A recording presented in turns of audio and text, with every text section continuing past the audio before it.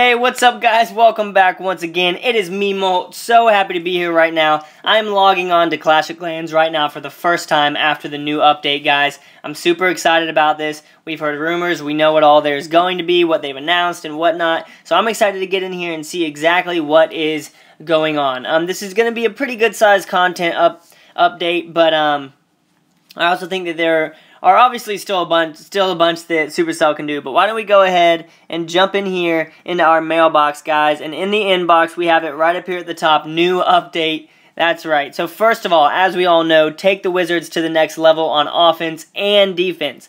We weren't sure about defense. We saw a couple of pictures that had a wizard tower in the background that was upgraded, so we pretty much knew it, but now we know it for sure, guys. So that is going to be awesome. That is only going to be for Town Hall 10, though, which sucks, but hey, it's okay. Next, quickly browse player details with new player profiles. I think this is kind of cool because you can go and view anybody's profile and see how they're doing. You can see their donates, you can see their win-loss ratio, defense, offense, blah, blah, blah. I'm super excited about that. I think that's going to be really, really cool. Next, improved replay sharing with lots more info. That's awesome because now it's going to have... Um, it's going to have information about what troops you used, all that kind of stuff, and then improved league loot bonuses and new achievements. I am super stoked about the league uh, loot bonuses because you've always loved those. Um, so yeah, why don't we go ahead and why don't we just jump in here and check out some of this. So look, here's the first thing with the replay. Someone already shared one in my clan. Um, plus 28 trophies, 100%. I don't know how good of the replay is, but as we go in here and press replay, let's check this out. Um, we can see there we go. Available loot up there in the top left corner. That is new. That's awesome. We can see damage in the bottom. All this kind of stuff. This is awesome. I'm so happy that they decided to include all that. I'm just going to fast forward through this.